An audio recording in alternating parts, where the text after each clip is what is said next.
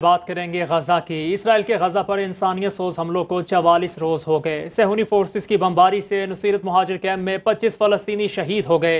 रफा में फजाई हमले में माँ और दो बच्चे शहीद हो गए। मजमुई शहादतें तेरह हज़ार से भी तजावज कर गई हैं। साढ़े पाँच हज़ार मासूम बच्चे भी शामिल।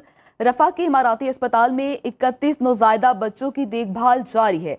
जल्द मिस्र मुंतकिल कर दिया जाएगा। इसराइल के गजा पर इंसानियत सोज हमलों को चवालीस रोज बीत गए। सेहूनी फोर्सेस की बमबारी से महाजर कैंप में 25 फलस्तीनी शहीद हो गए, जबकि रफा में फजाई हमलों में माँ और दो बच्चे शहीद। मजमुई शहादतें तेरह हज़ार से भी तजावज कर गई हैं। साढ़े पाँच हज़ार मासूम बच्चे भी शामिल। रफा के इमाराती अस्पताल में इकतीस नौजायदा बच्चों की देखभाल जारी है। जल्द मिस्र मुंतकिल कर दिया जाएगा। बाखबर रहिए, हर जगह, हर वक्त, बर वक्त। अभी सुनो न्यूज़ का यूट्यूब चैनल सब्सक्राइब करें और बेल आइकन पर क्लिक करें। और जानिए, मुल्की और गैर मुल्की हालात वाकयात यकीन के साथ।